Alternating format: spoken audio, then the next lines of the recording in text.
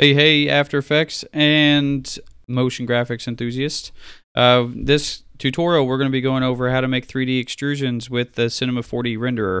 Now, I did do another tutorial on the Cinema 4D renderer, which is one of the new effects or one of the new features of After Effects 2017. If you do not have After Effects 2017, please go out and do it. Uh, download it and install it because it is nice. It's one of the better versions of After Effects. So, let's go ahead and jump right into the tutorial of the Cinema 4D 3D extrusion.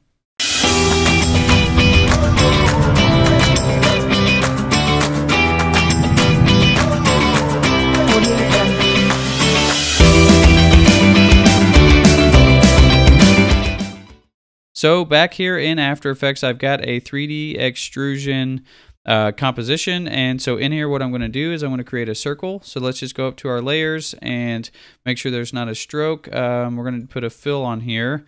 Let's do a lighter, let's say green, aqua, whatever color this is, about right there. And we're going to hold shift down to draw a nice circle. And let's undo. I go to our move tool and we'll move that around kind of in the center. And I don't like that color, so let's go to our fill and click on that. Uh, let's make it a different color. So maybe we'll do something like that. A little better. Okay, good enough. All right, so now we've got this shape. And what I want to do is I want to kind of make like an outline of this. And we can do that on this existing shape layer. First, let's rename it to circular. Circle outline, enter. And I'm going to add a ellipse. And we'll get that a little bit bigger. Change the size. Let's go up here and I don't like where that's coming from. So we can either move the position of this and try to finagle it, or we can just delete this, make sure ellipse 1 is not selected and the layer is not selected, and then add another ellipse. Now that's not giving us what we want. So let's delete this path and we'll start from scratch. Or another one, hold shift, boom, bring it up around here. We can check our anchor point and we'll leave it there. Now let's try to add a new ellipse. And is that from the center? Take the size up. It's a little bit off. So let's undo.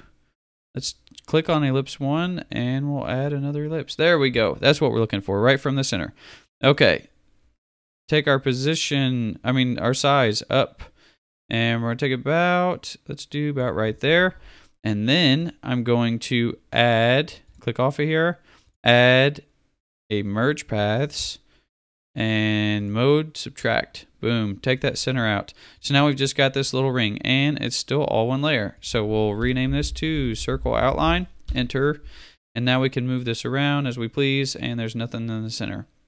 All right, so what we're going to do here is we're going to add some keyframes to make it do something. And we can do that by scaling it down or we can move it out of the way. We can rotate it, which you probably won't be able to see, but we can do whatever we'd like. So let's see what we can here add here. Um, I don't like any of these. We could go and pick one. We could pick this ellipse uh, pick the different contents and do something with those. Um, let's try to take the size of this and we'll make it a little smaller.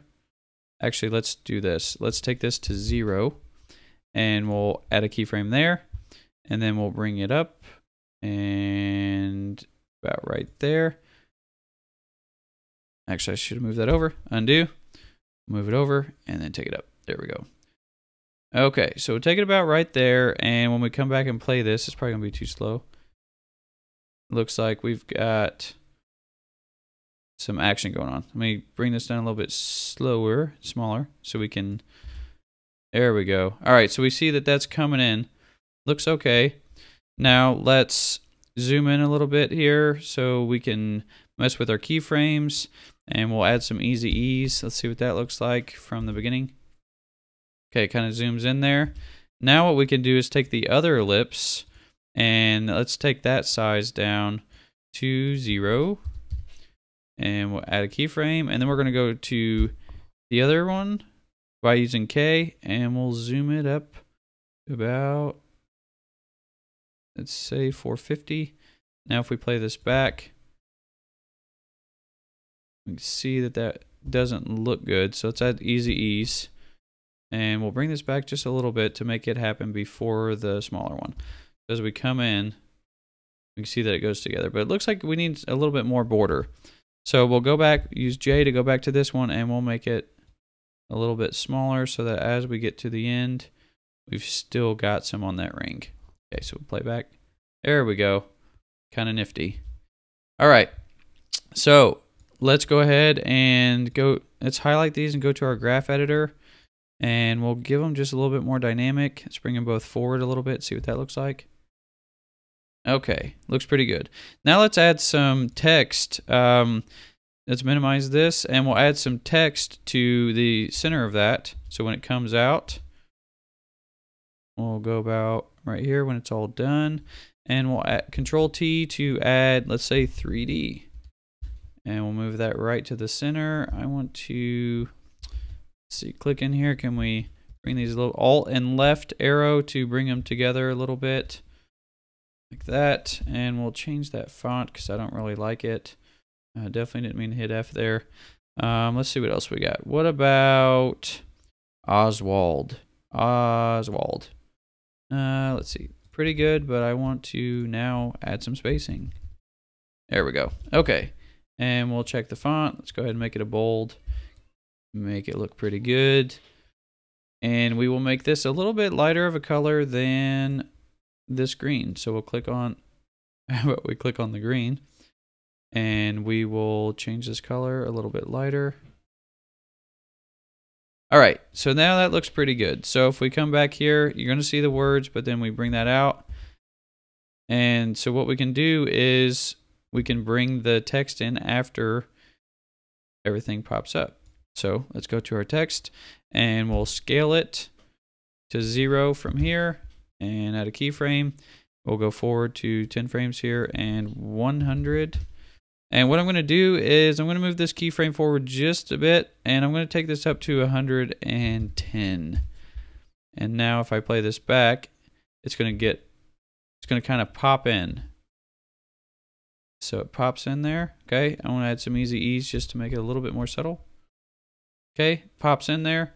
All right, now here's where things get interesting. Let's go ahead and now that we've got our animation done, let's add some 3D effects to it. So we'll click both layers, holding shift, and we'll make them both 3D. Now, if we go to the geometry options, we can actually change the extrusion. So we'll take the extrusion depth and let's go to like 35 and minimize this 3D and that and let's see what they look like. So if we go forward in time and go to this custom view one, okay, we could see that the ring has some 3D, but the 3D text doesn't have an extrusion. So we need to go back down here and add 35 here. Now we can see that that's 3D, but it looks funny. And the reason why is because we don't have a light or a camera. So we can add light or a camera, or we can add let's say animate, uh, we could do like a front color and let's just do saturation and we can add some saturation on there, which is not going to work. Uh, let's take this animator off. Let's animate this front color and we'll do RGB. Then we can add a color on there. So if we pick, color pick this and go just say like a little bit darker, we can see that now we see some layers. So we don't have a lighter camera, but we could actually do that if we wanted to. But we're not going to do that. I'm going to take the animator off and minimize this. We're going to go up to layer, new, and uh, light. And we'll just pick a default light. And let's pick a nice kind of like bluer color. About right there. Click OK. Intensity will go up to about 150 or so. All right, leave all that the same and fall off cast shadows. Yes, we do want that, and we want the shadow diffusion up to about 50, and we will click OK. So now when we got this in here, ooh, look at that. We've got some uh, lights going on, making some shadows. Now we, we want to make sure that the shadows are being accepted, so we can go down to our text and material options and cast shadows on. So now that's going to say that it casts shadows and it accepts shadows. So let's minimize that and do the same thing with our outline circle, material options. And let me bring this up a little bit for you so you can see what's going on and cast shadows on. So now we got to make sure that the lights are doing what they're supposed to do. So now if we play this back, we can see that we've got some 3D action. So it comes in, it's all 3D layered. Let me zoom in a little bit so we can see maybe about 200%. Uh, and I will take this up to full resolution. So if we play this back, you see that it zooms in, it gets smaller, and then pops into the scene. So let's go to our front view, and you can tell that it doesn't look like anything because we can't see the extrusion. So you could add a camera in here, you can rotate it around. So let's go to layer, new, layer, new, camera. All right, just a normal camera is fine. And if we hit C to go to our uh, camera, our unified camera tool here, you could move that around, but we need to make sure that all of our 3D is set up correctly. So let's go here, and frames, and drop this down. Let's see. All right, we're going to minimize our contents. And we don't need our material options. Go to 3D. Let's minimize this. Trying to open up some real estate here. And if we go back, we can go to active camera and then we can maneuver this around. Okay, so if we scroll forward here, we can see that we've got that. Now we can move this camera around. All right, so now if we go to the front, we see where our camera is. If we zoom out, and what we could do is as this is coming in, we could have it spin. So let's go to our camera, uh, but we need to be able to see everything. All right, we can move this around from our active camera mode. So let's just say we're about at the front there.